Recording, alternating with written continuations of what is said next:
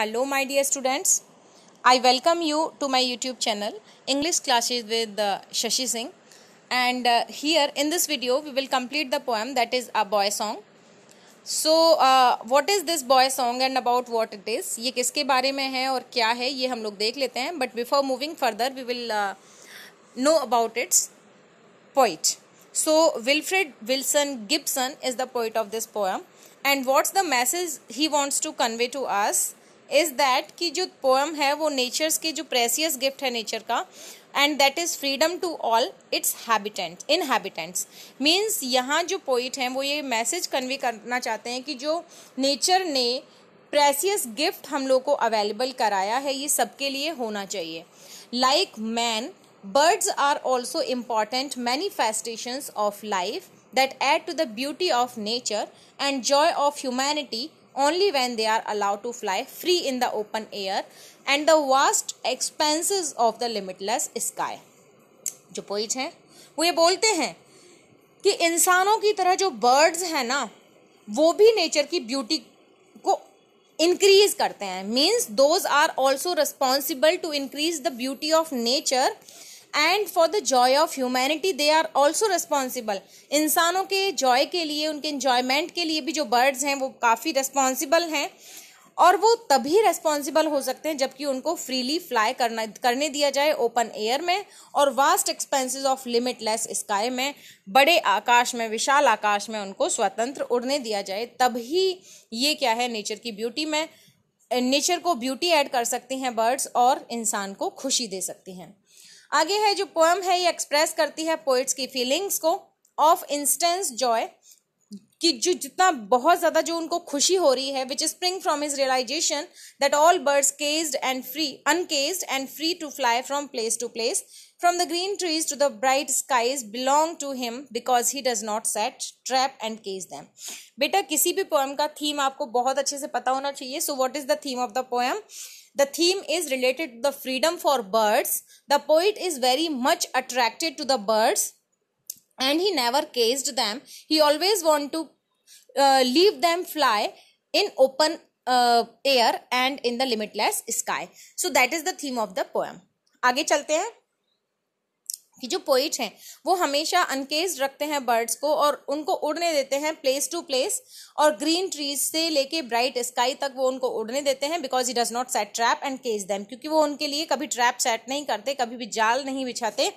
And never cage them और उनको कभी पिंजड़े में बंद नहीं करते।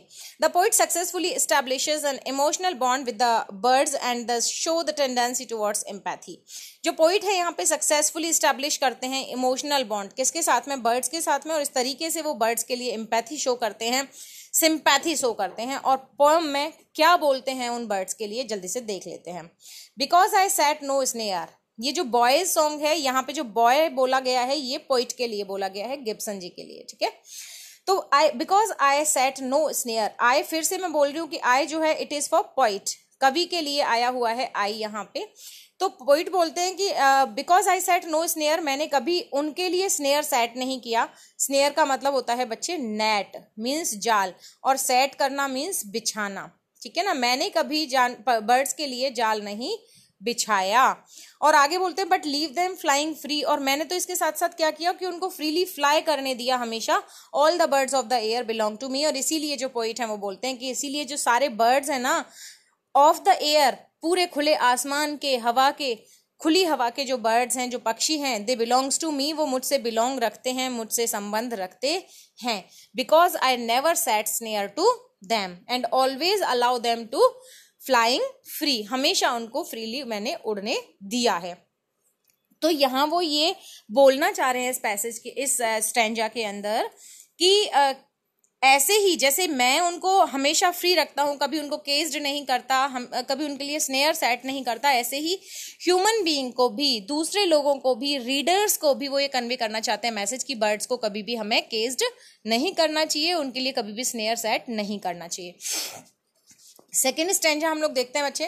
From the blue tit on the sloe to the eagle on the height uncaged they come and go for my delight अब ये जो वर्ड बर्ड यहाँ पे आया है वर्ड जिसका जो मीनिंग है sloe a kind of shrub आप इसको बोल सकते हो कि क्या होता है? एक तरीके का श्रब होता है। Shrub S H R U B shrub का मतलब होता है बच्चे झाड़ी। ठीक है ना? ये एक तरीके की झाड़ी होती है जिसमें कौन रहता है? देख, बता देती हूँ।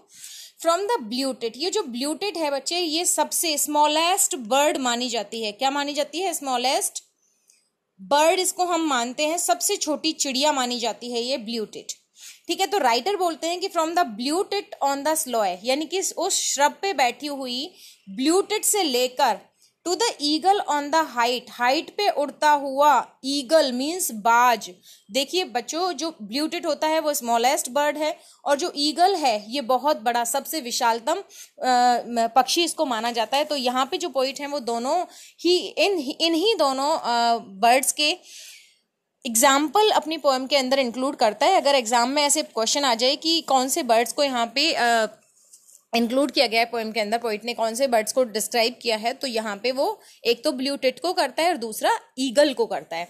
तो पोइट क्या बोलता है कि from the blue tit on the sloe sloe पे बैठा हुआ ब्लू टिट और हाइट में उड़ता हुआ जो ईगल है uncaged they command go for my delight और उनके लिए बोलते हैं, इतने ज़्यादा अट्रैक्ट हैं वो इन बर्ड्स से कि बोलते हैं I ever keep them uncaged मैंने हमेशा उनको अनकेस्ड रखा है, कभी भी केस्ड नहीं किया, कभी उनको पकड़ा नहीं, पिंजरे में बंद नहीं किया that's why they come and go for my delight इसलिए वो आते हैं और जाते हैं फॉर माई डिलाइट मेरे डिलाइट के लिए डिलाइट मीन्स हैप्पीनेस ठीक है?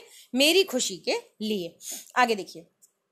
And so the sunward way I soar on the eagle's wings and in my heart all day the blue tit sings अब देखिए आगे बोलते हैं so the sunward way I soar on the eagle's wings अब बोलते हैं कि सनवार्ड वे यानी कि सूरज की तरफ़ आई सोर मैं उड़ता हूँ on the eagle's wings eagle के विंग्स पर।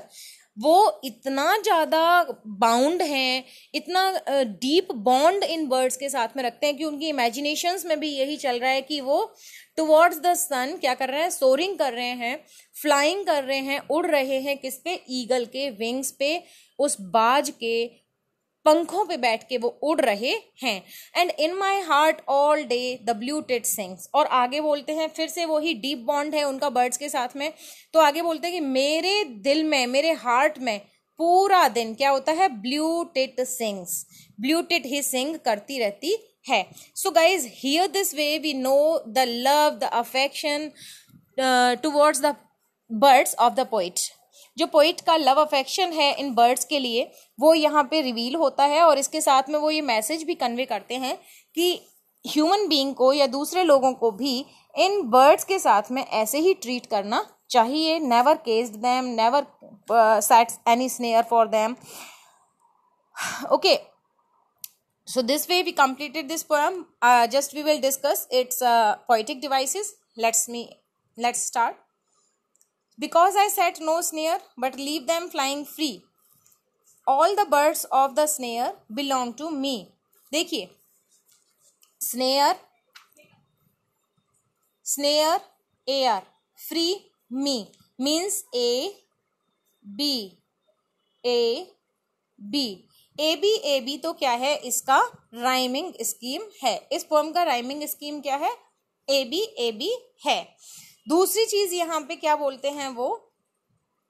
यहाँ पे हम लोग alliteration figures of speech alliteration बोल सकते हैं कि all the birds of the air how it is possible कि all the birds of the air उनसे बिलोंग रख सकते हैं, उनसे बिलोंग कर सकते हैं। अच्छा हाउ इज़ इट पॉसिबल कि दुनिया में जितनी भी बर्ड्स हैं वो उनसे बिलोंग करती हैं? नो दैट्स नॉट पॉसिबल और जब कोई चीज़ पॉसिबल ना हो और उसको पॉसिबली बोला जाए तो वहाँ पे एक फिगर ऑफ़ स्पीच होता है जिसको हम बोलते हैं एलिट्रेशन क्या बोलते हैं बच्चे? एलिट्रेशन बोलते हैं, जिसका मीनिंग होता है आ, जिसको बढ़ा चढ़ा के बोला जाता है अभी हिंदी मीनिंग तो मुझे उसका समझ नहीं आ रहा है तो दैट इज़ कॉल्ड एलिट्रेशन तो हमें दो चीज़ ही इसमें है और तो इसमें कुछ खास है नहीं। फिगर ऑफ़ स्पीच भी कोई दूसरा नहीं है यहाँ पे तो देख लेते हैं कि आ, एक तो है राइमिंग स्कीम इसका A B A B rhyming scheme है और यहाँ पे एलिट्रेशन फिगर ऑफ़ स्पीच हम लोगों को शो होता है। So this way we completed this poem guys I hope कि समझ आ गया होगा। अगर आ गया है तो चैनल को सब्सक्राइब ज़रूर करें, मेरे वीडियो को लाइक करें और शेयर ज़रूर करें। Thanks a lot for watching this video thank you ये क्या?